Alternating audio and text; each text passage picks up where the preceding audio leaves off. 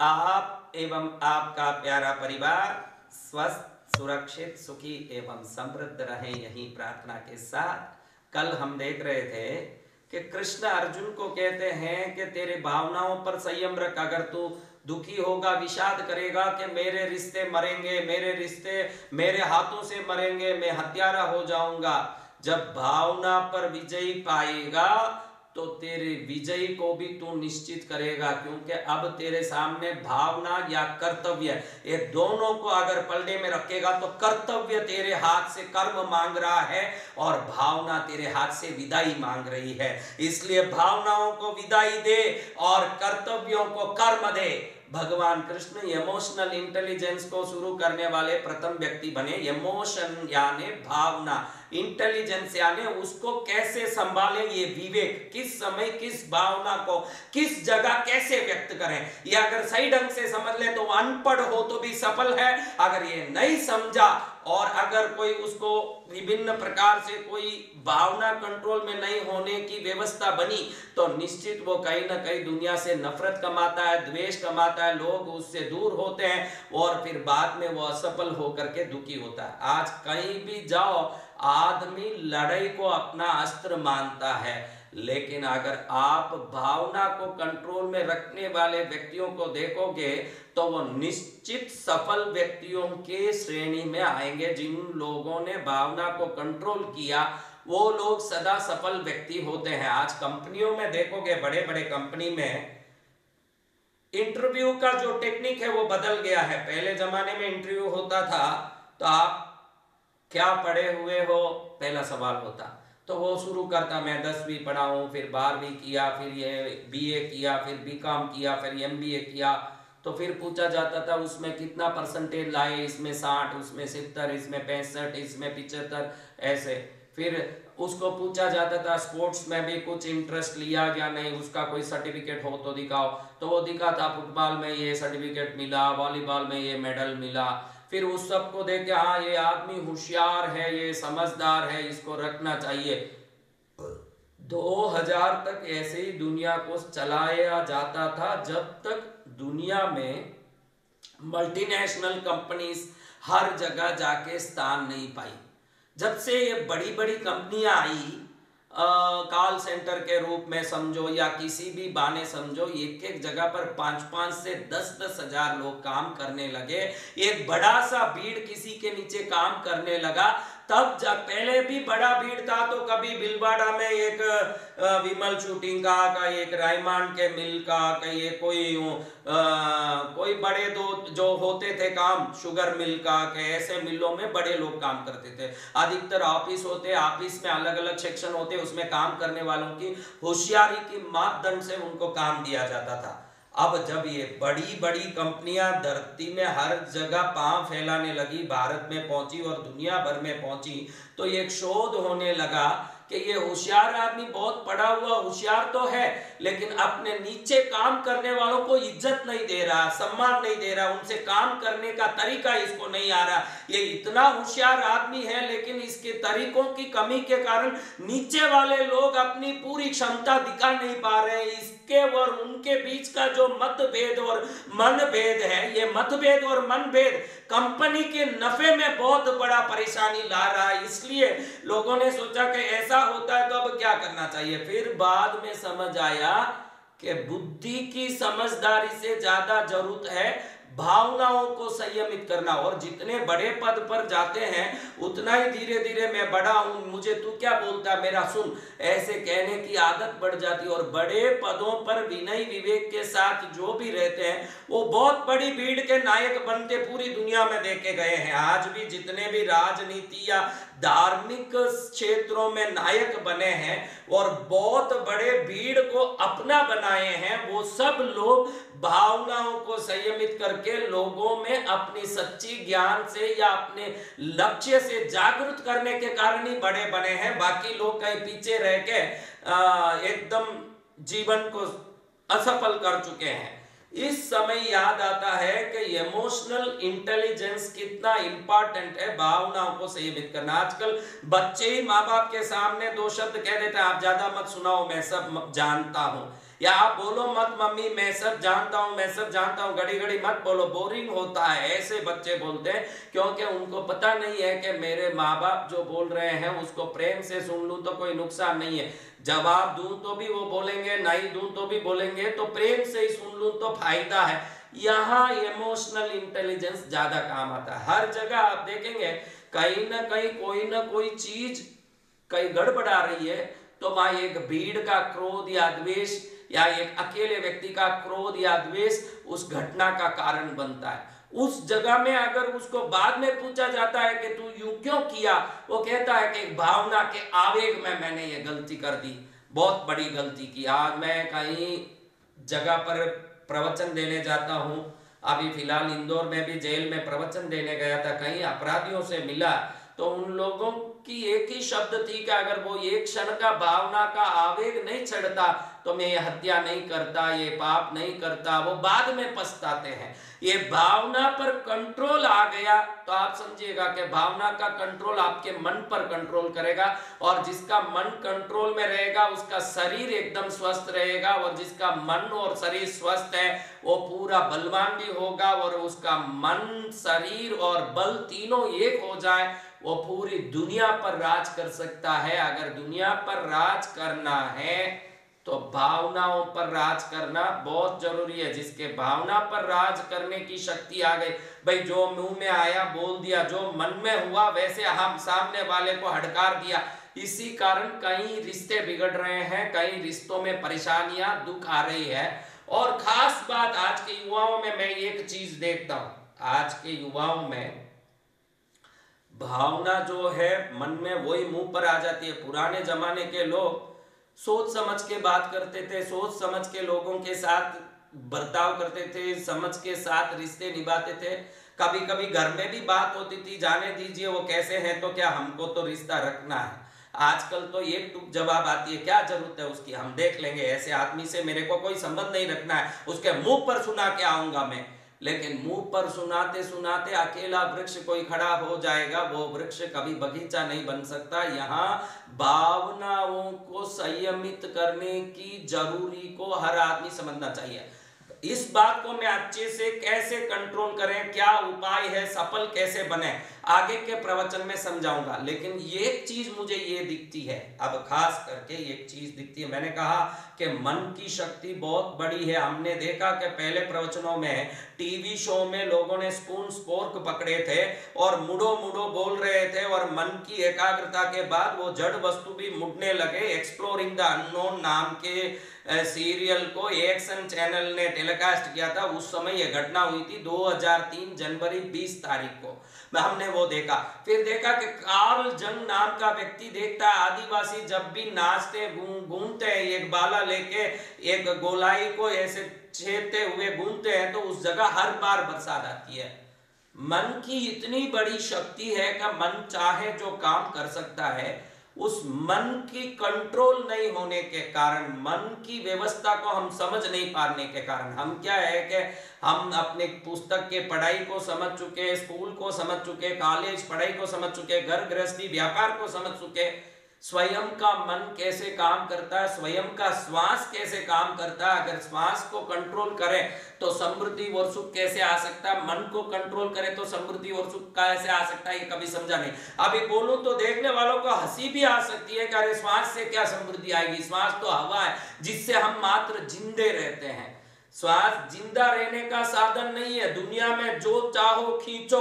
अगर उसको खींचने का अगर कोई साधन है तो श्वास है। ये मैं आगे बताऊँगा कि श्वास कैसे समृद्धि को खींचता है, दुख को खींचता है। आप देख सकते हैं कि जब क्रोध आता है तो आपका श्वास बढ़ जाता है, एकदम तेज हो जाता है। अगर क्रोध आता है तो श्वास तेज हो जाता है तो शांति आनी हो तो श्वास को कम करना पड़ेगा।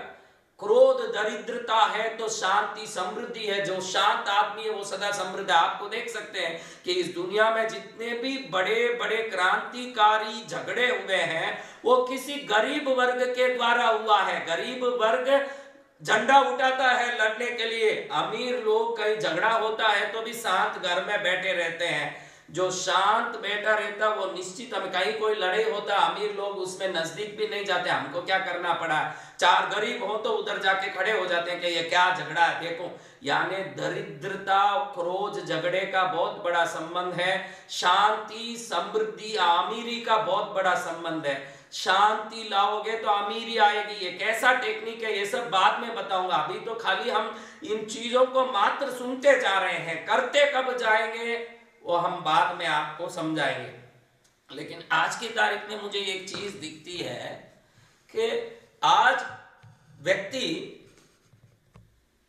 जो युवा वर्ग है, खास करके, कुछ भी बोलने से शर्माते हैं, मन की बात। जहाँ तक मेरे पास बहुत बड़ा युवा वर्ग आता है, हज़ारों की संख्या में युवाएँ मेरे हर जगह पर दर्शन करने, कार्यक्रमों में कहीं भी पहुँचते हैं। मैं देखता हूँ कि युवाओं को आज पढ़ने की क्षमता बढ़ गई युवाओं की। और आज युवाएँ विभिन्न प्रकार के चीज़ों को जानने में बहुत माहिर हो गए हैं। आज कोई भी एक मोबाइल दे दोगे तो उसका हर प्रकार का ऑपरेशन युवाओं का आता हम लोग तो पुराने लोगों को कुछ उसका समझ ही नहीं आता। एक छोटा सा लड़का एक मोबाइल उठा के क्राफ्ट कर लेता है, कुछ शेयर कर देता है, कुछ चीज़ों को डाउनलोड कर देता है। नए ऐप को हम संभाल लेते हैं, ऐसे दुनिया भर का करता है, हम कुछ नहीं कर पाते। लेकिन इतना करने वाले युवा लोग जहाँ जाके जो पूछना चाहिए, जिस जगह जाके के भाई मुझे ये पूछना चाहिए उस जगह साथ खड़े रहते हैं। आज के तारीख में कई युवा अपनी दिल की बात खुला नहीं बोलने के कारण असफल रहते हैं। मैंने 90 परसेंट युवाओं को ऐसे देखा है और आज बड़े लोग भी जो असफल हैं, हम देखें कि एक दुनिया का गणित है आपके जीवन में जो आपको प्राप्त होना है, वो आप दुनिया से मांगो। तो 20 लोगों से मांगो। तो कोई पाँच लोग या चार लोग तो निश्चित सहयोग करेंगे और वो चार लोगों में आपकी जो ज़रूरत है वो पूरी हो जाएगी और उन चार लोगों को चुनने के लिए बीस लोगों को पूछना पड़ता है। जब भी जीवन में आपको कोई ना कोई चीज़ हाजिर होनी है, ये ज़रूरी नहीं कि सब देंगे। एकदम गरीब लोग मेरे पास आके कहते हैं कि मैंने सब जगह से उधारी ले लिया अब तो मेरे को देख के तो ये लोग कतराते हैं तो किससे मांगो? लेकिन ध्यान रखें, चीज़ों को मांगने की तरीके और चीज़ों को वापस लौटाने की ईमानदारी अगर मन में हो तो वो ईमानदारी काफ़ी है। आज के तारीख में वो सुविधा आप में होना ये ज़रूरी नहीं है। आप ईमानदार हैं, ये साबित कर दें। तो कहीं ना कहीं किसी ना किसी कोना में आपके दिल को समझ के आपका सहयोग करने वाला कोई ना कोई तो पैदा हुआ होगा, जो आपका सहयोग करेगा। मैंने कई बार जीवन में देखा है कि मांगने से क्या नहीं मिलता, और ये भी देखा है कि नहीं मांगने से कई अवसर जीवन से हाथ छूट जाते हैं। एक बार मैं ऐसे ही कहीं जा रहा था, मैं देख रहा था कि बस स्टैंड में एक लड़का खड़ा हुआ, बस के सामने। बस में कई यात्री बैठे हैं। मैं ये भी कई बार देखता हूँ कि कार के सामने, बस के सामने कोई भिकारी या कोई बेचने वाला आता है। उस समय ही उन कार चलाने वाले या पास बैठे हुए यात्रियों के और बस में बैठे हुए यात्रियों के सिर एकदम सीधे हो जाते हैं, उस तरफ़ मुड़ते ही नहीं है। उस समय इनका सिर एकदम सीधा हो जाता है। भिखारियों की तरफ़ देखते ही नहीं कोई पेपर न्यूज़पेपर बेचने वाले लोग ये ट्रैफ़िक सिग्नल के पास खड़े होते हैं। कोई ना कोई छोटे मोटे ये खिलौने वगैरह बेचने वाले होते हैं, मूंगफली, पापकान बेचने वाले होते हैं। वो बेचारे इनको मांगने कह रहे हैं, अरे भाई, आपको लेना नहीं है तो कम से कम मुझे नहीं चाहिए ऐसे तो कहो। लेकिन मैंने अच्छे से देखा कि उनकी बेचने की ताकत इतनी है कि इस चक्कर में आदमी मुँह ऐसे उल्टा नहीं करता क्योंकि उसको देख लेगा तो वो हर हालत में एक पैकेट बेच के ही रहेगा। मैंने कई बार ऐसे सोचा कि ये व्यक्ति भिकारी को देख के मुँह ऐसा सीधा क्यों कर लेता क्यों ऐसे देखता, क्यों नहीं है? बड़ा दयाहीन है। फिर मुझे मालूम पड़ा कि इस दुनिया में ये जो छोटी छोटी चीज़ बेचते हैं ना, उनके पास जो ताकत है वो हम में आ जाए बड़ी चीज़ें हासिल कर सकते हैं। मैंने उस बस स्टैंड में देखा कि एक व्यक्ति मूंगफली बेच रहा है। अधिक से अधिक वो बच्चा चौदह पंद्रह साल का होगा। उसको देखते ही कहीं बस में रहे हुए, जैसे मैंने बताया, वैसे ही अलर्ट हो गए, एकदम ऐसे अलर्ट होके बैठ गए, बिल्कुल उसको देख ही नहीं रहे। अब ये बच्चा थोड़ा भी, क्योंकि कई लोग तो इन लोगों के हाथ लगाने से बड़े गुस्सा करते हैं, नाराज़ होते हैं दूर जाए से लेकिन उस बच्चे ने थोड़ा भी शर्म नहीं किया, मैं देखता ही रहा। ये बच्चा हरेक को यूँ यूँ खरोद रहा है। उसमें चार छह तो देख ही लेते हैं भाई, सबको खरो दे तो भी नहीं देखे ऐसे भी कुछ होते हैं। लेकिन बच्चे का बिज़नेस टेक्निक समझाता है कि तेरे पास सौ पैकेट मूंगफली है तो तू पाँच सौ लोगों को छे, सौ लोग तो लेंगे। अब मैं देखता ही रहा, एक व्यक्ति उसको ऐसे ऐसे करने के बाद ऐसे देखा। वो बोलता है साहब साहब, ये ले लो मूंगफली, बहुत बढ़िया, गरम गरम मूंगफली, एकदम नमक लगाया हुआ, मसाला लगाया हुआ मूंगफली। वो बोलता है भाई, अभी भूख नहीं, अभी लेना नहीं है, जाओ जाओ, ऐसे। अरे एक पैकेट खा के तो देखो साहब, एक पैकेट लेके तो देखो, एक पैकेट आप लो, आपको मज़ा आ जाएगा, फिर मुझे वापस बुलाओगे आप। और ऐसी बातें करने लगा कि उस आदमी को आखिर दस रुपया देकर मूंगफली लेना ही पड़ा। और मैं इस चीज़ को देखने के बाद जो आनंद आया, थोड़ी देर में वही खड़ गया कि बच्चा क्या करता है? उम्र महज एक चौदह साल का ही होगा। ये बच्चा हर जगह जाता है, कोई उपेक्षा करता है तो उस पर नाराज़ नहीं होता है, कोई लेता है तो खुश ज़रूर होता है। और हर जगह खड़ा हुआ, कुछ न कुछ मूंगफली की महिमा गा रहा है, कुछ न कुछ गीत गा रहा है, मूंगफली के बारे में घड़ी घड़ी बोल रहा है। मांगा। और मांगने के बाद उसको जो मिला, वो मूंगफली की ताकत से नहीं, निरंतर उसके बोलने की ताकत से हुई। मैंने पहले ही बताया, भावना को संयमित करना कितना ज़रूरी है। अगर भावना आपके कंट्रोल में होंगे, आपका गुस्सा, आपका द्वेष, आपकी नाराज़गी, आपकी सभी ईर्षा जलन आदि दुर्गुण कंट्रोल में रहेगी और बाहर दिखने में हरदम आप खिलते फूल की तरह रहेंगे तो दुनिया को कैसे राज कर सकते हैं? ये आगे देखेंगे, अच्छे से इसको कई उदाहरणों से समझाऊँगा और टेक्निक भी समझाऊँगा कि भावना को कैसे कंट्रोल में लाया जा सकता लेकिन अब हम बात कर रहे हैं बोलने की मांगने की आस्क आस्क आस्क आज मांगो मांगो मांगो, पूरी दुनिया में शिक्षा दी जा रही है कि आपको जो चाहिए, खुले मन से मांगो। जो आपको योग्य लगे, उससे भी मांगो। जो नहीं दे सकता, उससे भी मांगो। जिसके पास वो चीज़ नहीं है, उससे भी मांगो। जब मांगते ही रहोगे तो प्रकृति से कहीं ना कहीं एक उपाय निकल के आएगा और आपका मांगा हुआ चीज़ आपके जीवन में प्रकट होगा। मैंने और भी एक घटना देखी जीवन में। उस घटना को देखने के बाद मेरे को विश्वास हो गया मांगने वाले को क्या क्या मिलता है? मांगने वाले के जीवन में क्या क्या हो सकता है? ये मेरे दिल में एकदम फिट हो गया। वो क्या चीज़ है कि मैं आपको बताना चाहता हूँ कि मांगना सीखो जीवन में। बड़े प्रेम से मांगना सीखो, अधिकार से मांगना सीखो। वो चीज़ आपके जीवन में श्रेष्ठता लाती हो, संतोष लाती हो, आपके जीवन में उन्नति लाती हो, सफलता लाती हो तो उस चीज़ को कहीं ना कहीं से मांगते रहो या उसको पाने का जो उपाय है, उस उपाय की तरफ़ आगे बढ़ो।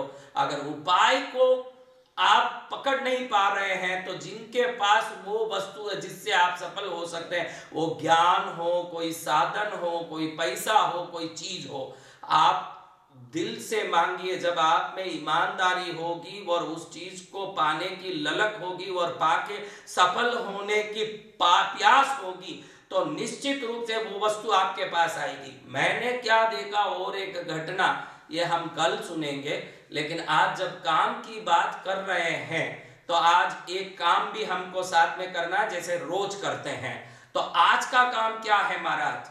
देखो भाई, अब रात के समय ये प्रोग्राम चल रहा अब मैं बोलू, मांगो मांगो, अब गली सब सुनसान हो गई, दुकान बंद हो गए, रिश्ते अपने घर में हैं और दुनिया अपनी मस्ती में है तो अब आपको आज से ही मांगना शुरू करना। मैंने कह दिया, मांगो तो हम आज ईश्वर से मांगेंगे। आज के दिन में मैं जो काम आपको दे रहा हूँ, वो काम है आपको ये कार्यक्रम पूरा होने के बाद, जो भी आपको काम करना है, वो भी पूरा होने के बाद, और कार्यक्रम देखना, वो भी पूरा होने के बाद। क्योंकि फिर? टीवी वाले बोलेंगे, महाराज, ये कार्यक्रम होने के बाद आप लोगों को काम दे दोगे तो हमारे दूसरे कार्यक्रम कैसे चलेंगे? इसलिए आपको जो देखना है, जो करना सब कर लो।